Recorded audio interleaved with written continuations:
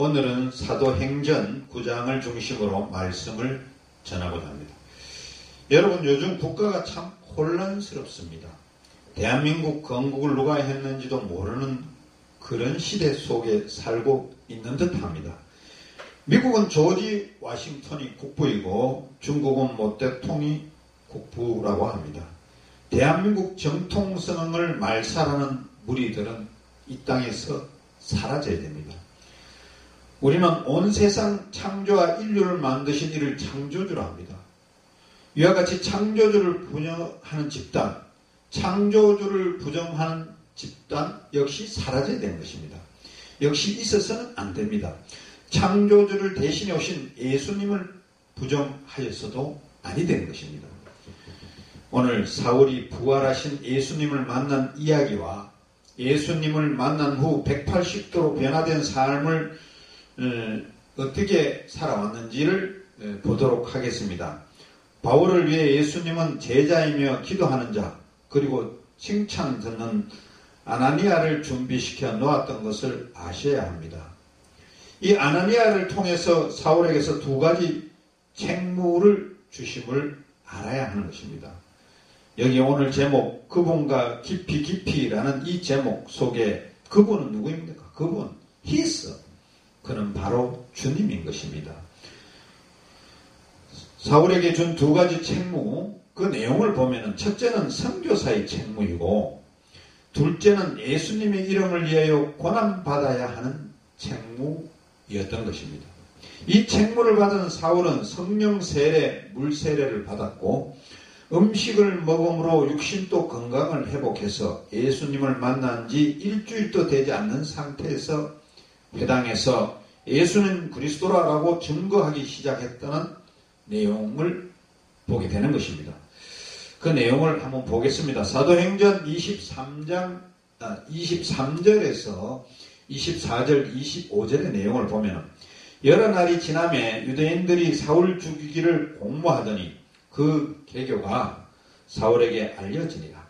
그들이 그를 죽이려고 밤낮으로 성문까지 지키거늘 그의 제자들이 밤에 사울을 강주리에 담아 성벽에서 달아 내리니라. 이 말씀은 생각 없이 읽어 내려가다 보면은 사울이 예수님을 만난 후에 담에색에서 복음을 전하다가 유대인들에게 죽을 위기를 맞아 밤에 담에색 성에서 광주를 타고 내려와 탈출했구나 라는 것을 알 수가 있는 것입니다. 여기에 주의 깊게 보아야 할 것은 간단하지 않은 말씀이 23절 서두에 나온 겁니다. 여러 날이 지나면이라는 말입니다. 여기서 말하는 여러 날은 도대체 뭐를 가리키는 이야기입니까? 여러 날이 지나면이라는 말은 사울의 회심한 이후 그의 행적을 연구하는데 굉장한 중요한 말이라는 것입니다. 사도행전의 저자 누가가 사도행전을 기록한 연대는 주후 63년경이고 사울이 회심한 것은 주후 34년경입니다. 그러니 사울이 예수님을 만난 이후 30년 이후에 사도행전을 기록했기 때문에 사울에 대해서 기록한 내용이 시간대별로 치밀하게 기록되었다고는 볼 수가 없다는 것이죠. 30년이 지났으니. 누가의 관점에서 중요하다 싶은 부분, 중요한 것만 기록했다고 봐야 할 것입니다. 그렇게 23절에 나오는 여러 날이 지나면라는 말이 얼마간의 기간을 가리키는지 알 수는 없습니다. 그럼 전혀 그날을 알 수 없냐 하면 완전히 또 그렇지도 않아요. 성경의 해석 원칙 첫 번째는 성경으로 성경을 해석하는 것입니다. 이 사건을 다룬 성경에는 뭐라고 말씀하는지 찾아보면 답은 찾을 수 있다고 어, 봅니다. 그 답을 찾을 수가 있어요. 오늘 본문도 사울 자신이 기록해놓은 회심 사건 이후를 보면은 충분히 알 수 있습니다. 그럼 사울이 쓴 말씀 갈라디아서 1장 17절 18절을 보면은 또 나보다 먼저 사도된 자들을 만나려고 예루살렘으로 가지 아니하고 아라비아로 갔다가 다시 다메섹으로 돌아간도라. 그 후 3년 만에 내가 개발을 방문하려고 에루살렘에 올라가서 그와 함께 15일을 머무는 동안 자 오늘 말씀을 보고는 이해가 되지 않지만 갈라디아서 말씀을 보면 정리가 되는 거죠. 정리를 해드리겠습니다. 부활하신 예수님을 만난 사울은 아라비아 강야로 갔다. 아라비아 광야에서 3년의 시간을 보냈다. 그 후 다메섹으로 돌아왔다가 죽을 고비를 맞게 됐다. 밤에 광주리를 타고 다메섹을 탈출하여 예루살렘으로 갔다. 예루살렘으로 가서 15일을 보내고 자신의 고향 다소로 가서 침묵의 시간을 보냈다는 거죠. 그러니 본문에서 말하는 여러 날이 지나매라는 말은 아라비아에서 보낸 3년의 기간을 말하는 것입니다. 22절과 23절 사이에는 3년이라는 시간에 공백이 있는 것이라는 것입니다. 자, 여기에서 우리는 사울이 보낸 아라비아의 3년의 의미를 한번 생각해 봐야 되는 것입니다. 성경은 아라비아에서 3년 동안 무엇을 하고 지냈는지, 아라비아 중에 어느 곳을 다녔는지 모릅니다. 그러나 추정할 수는 있다는 것이죠. 우선 아라비아 위치를 말씀을 드리면은 아라비아는 페르시아망과 홍해 사이에 이르는 넓은 사막 지역 전체를 말하고 있는 것입니다. 사막 지역이기 때문에 사람들이 살지 않고 유목민만 지나다니는 그런 고적한 곳이라고 봐야 되겠죠. 그런 곳에서 사울은 3년을 보냅니다. 무엇을 했을까요? 사울은 옛날에 자기 조상들이 40년 광야에서 그 방황하던 그 코스를 따라서 여행했을지 모릅니다. 어쩌면 모세처럼 호랩산 꼭대기에서 40주야를 엎드려서 하나님 앞에 몸주린, 몸부림치면서 은혜 받기를 갈망하고 능력 얻기를 갈망했을지도 모릅니다. 문명한 것은 그곳에서 3년을 보냈다는 것입니다. 그 3년이 아마 신학을 정리하는 시간이었지 않을까라고 학자들은 말하고 있습니다. 그런 확실치 않습니다. 그동안 믿고 있었던 구약의 성부 하나님, 그리고 인간의 몸을 입고 오셔서 구원을 완성하시고 부활하신 성자 예수님, 예수님의 영으로 우리를 깨닫게 하고 힘을 주시는 성령 하나님에 대한 명확한 정리를 하는 시간이었을 거로 이렇게 봅니다. 그 3년의 기간을 있었기에 로마서와 같은 위대한 교리를 만들어냈고 신약의 대부분을 차지하는 말씀을 기록할 수 있었다는 것입니다. 3년의 기간을 보낸 결과 사울에게서 남은 것은 예수 그리스도와 십자가 뿐이었을 것입니다. 그렇게 성경에서 침묵하고 있는 아라비아 3년은 사울에게 있어서 굉장히 중요한 시간이었던 것입니다. 이 사울의 아라비아 3년의 침묵 기간을 보면서 우리는 우리에게도 이런 기간이 존재하는가? 한번 물어봐야 됩니다. 여러분은 예수님을 만나고 나서 예수님을 묵상하고 공부하고 정리하고 확신하는데 필요한 시간을 가져본 적 있습니까?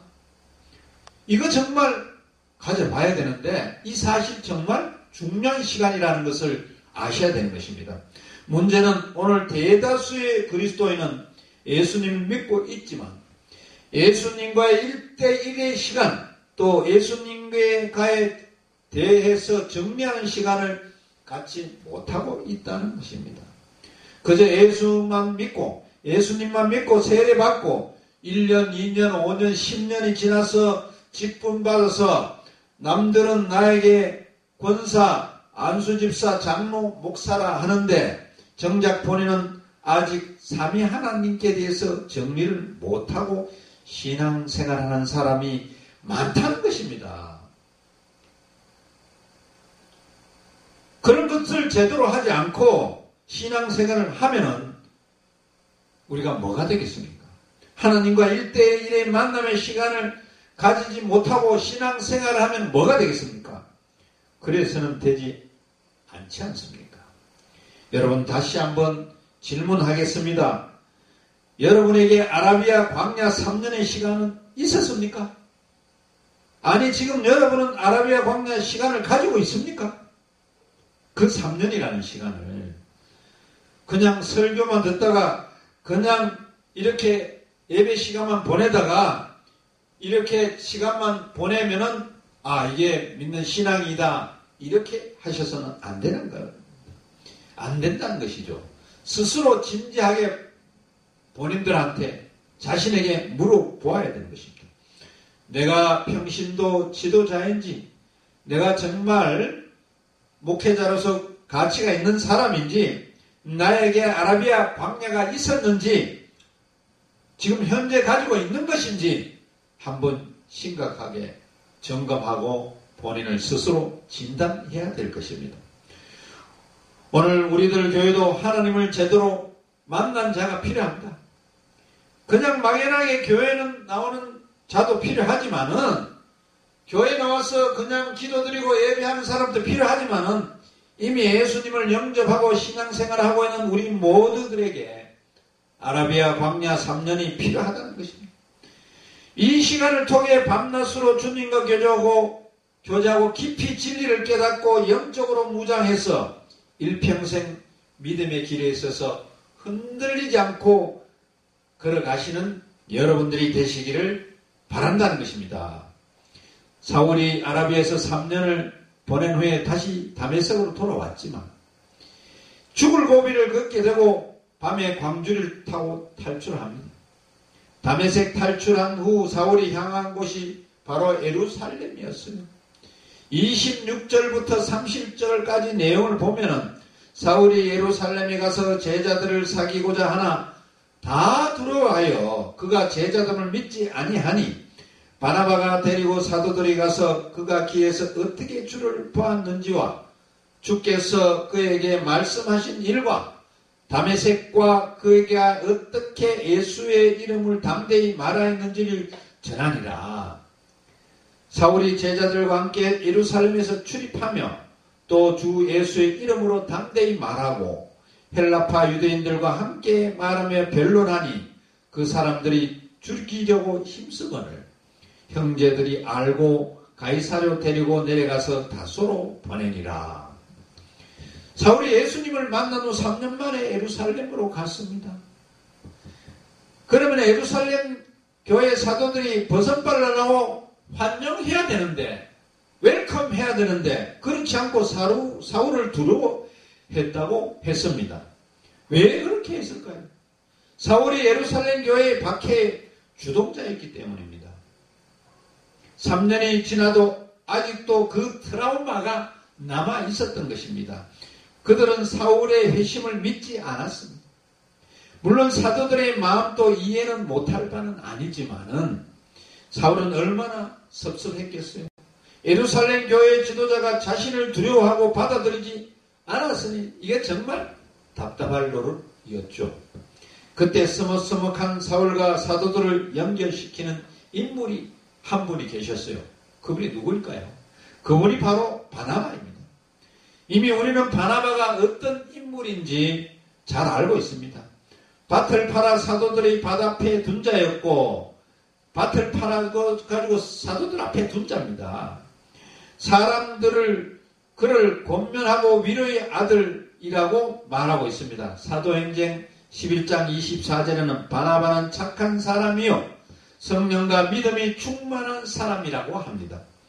예루살렘 교회의 사도도 아니요 평신도 지도자도 아니었지만 사도나 평신도 지도자 못지않은 훌륭한 사람이 바로 바나바였습니다.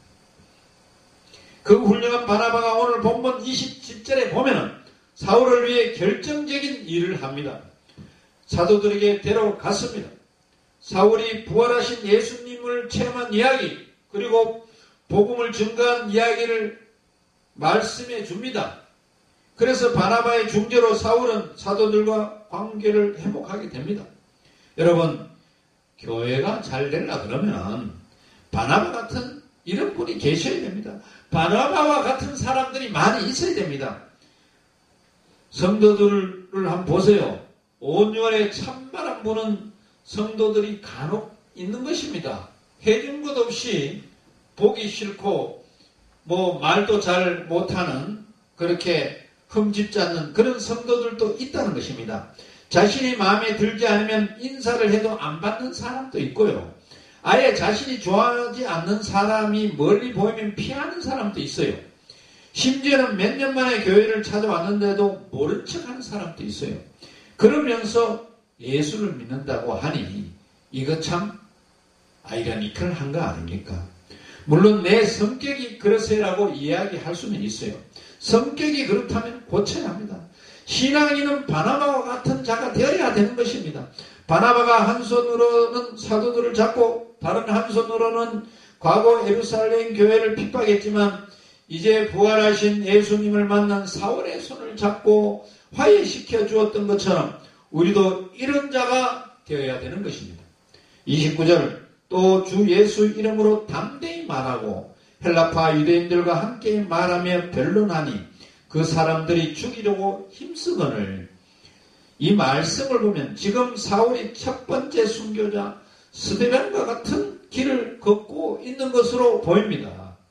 말씀을 전한 결과 사울에게 온 것은 죽음의 위기라는 것이죠.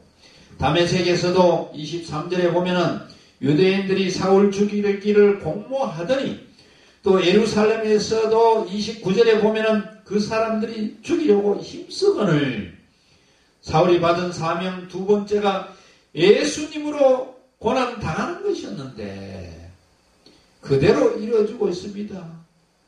그대로 그 책무가 이루어지고 있다는 것입니다. 어쩌면 오늘 우리가 받은 책무의 길, 사명의 길도 이런 길이 아닐까 싶습니다. 주님의 길은 십자가의 길이고 고난의 길인 것입니다. 바울이 이렇게 죽음의 길을 맞아 예루살렘 행자들이 그를 자신의 고향 다소로 보내게 되었다고 말합니다.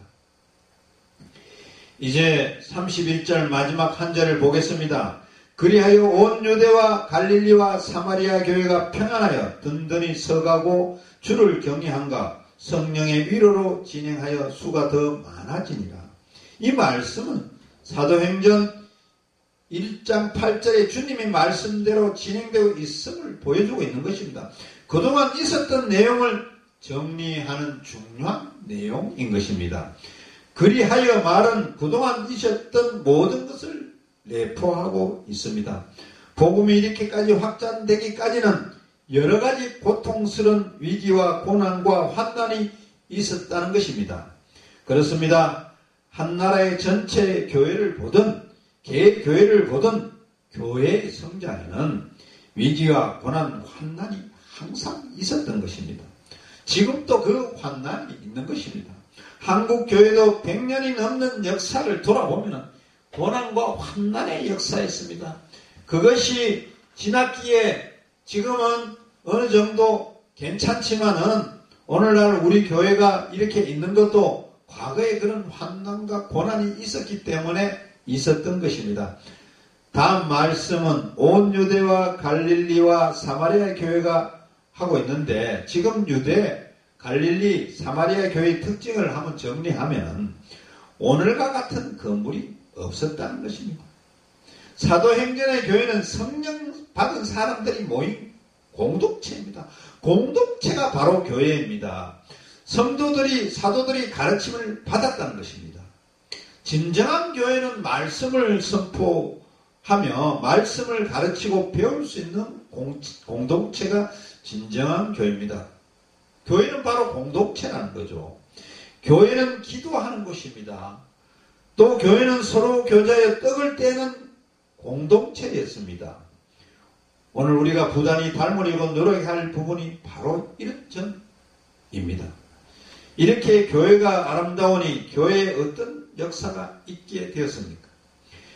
평안하게 든든히 서가고 주를 경외함과 성령의 위로로 진행하여 수가 더 많아지니라 평안해졌습니다. 평안의 주인은 예수 그리스도입니다.